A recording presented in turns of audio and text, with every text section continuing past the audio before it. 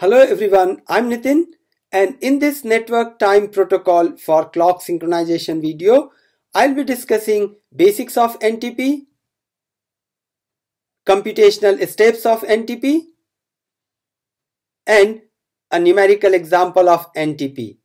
So let's get started. Clocks are one of the most important components of computers and other devices. However, due to various factors, these clocks may drift from the standard frequency or tick rate and may gain or lose time with respect to the reference clock. And this time difference between the two clocks is called clock skew. This clock skew may gradually increase and eventually cause desynchronization of the computer clock from the reference clock, which could affect their normal operations. Therefore, it requires synchronization of the computer clock with the reference clock to minimize clock skew. Several algorithms or protocols were proposed for synchronizing clocks and Network Time Protocol or NTP is one of them. Network Time Protocol or NTP is the most widely used protocol for clock synchronization. NTP is normally organized in a hierarchical client-server model, meaning that one label obtains services from its upper label as a client and provides services to its lower level as a server. Each level of this hierarchy is called a stratum and is assigned a number starting from 0 at the top level. This stratum number determines the distance from the reference clock. Stratum 0 or top level comprises the most precise atomic clocks to provide the most accurate time to its lower levels. In other words, these are the devices that actually generate the time. Stratum 1 is directly connected to the stratum 0 or top level and receives the most accurate time from atomic clocks. It acts as a server label for its lower level or stratum 2 and so on. NTP can handle a maximum of 16 stratum labels in the range of 0 to 15. Here each stratum label introduces an additional network delay causing accuracy to decrease. Therefore, stratum 0 is the most accurate and stratum 15 is the least accurate. Several techniques are used to improve the accuracy and performance of NTP-based clock synchronization. For example, NTP clients can send multiple requests to the same server or different servers to determine the synchronized time as accurately as possible in case of any misconfigured or faulty server. Let's look at how NTP computes the synchronized time. Here, the client and server communicate in a series of requests and responses. The client sends an NTP request packet to the time server along with its timestamp T1. Then, server receives the client request packet and records this receiving time as a timestamp T2.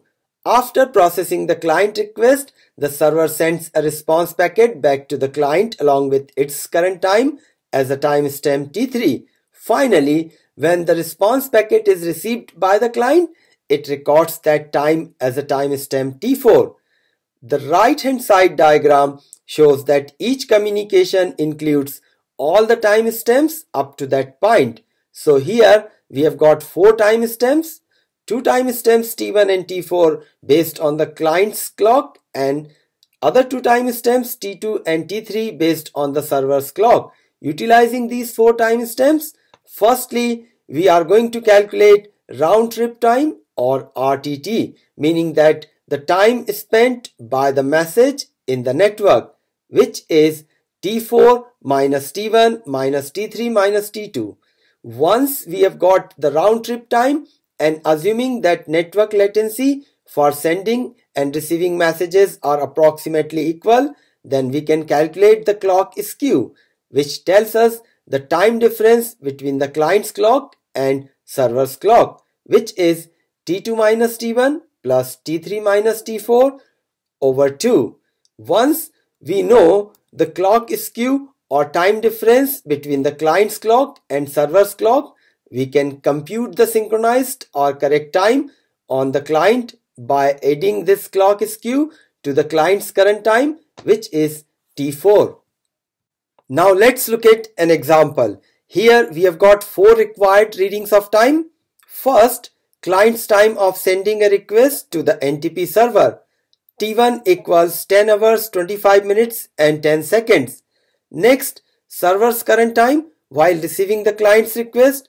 T2 equals 10 hours 25 minutes and 13 seconds. Next, server's current time while sending its reply. T3 equals 10 hours 25 minutes and 17 seconds. And fourth, client's current time of receiving server's reply T4 equals 10 hours 25 minutes and 18 seconds.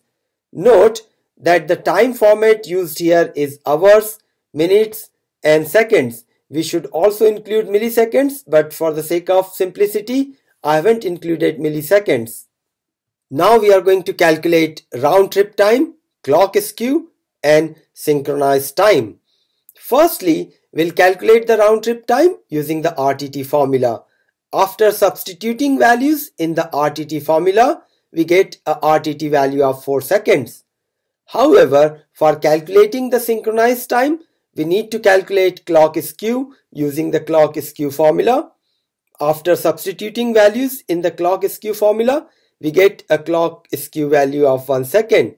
Finally, we'll calculate synchronized time on the client by adding the client's current time and the clock skew value. After substituting values in the synchronized time formula, we get a synchronized time value of 10 hours 25 minutes and 19 seconds. This concludes my presentation and thanks for watching my video.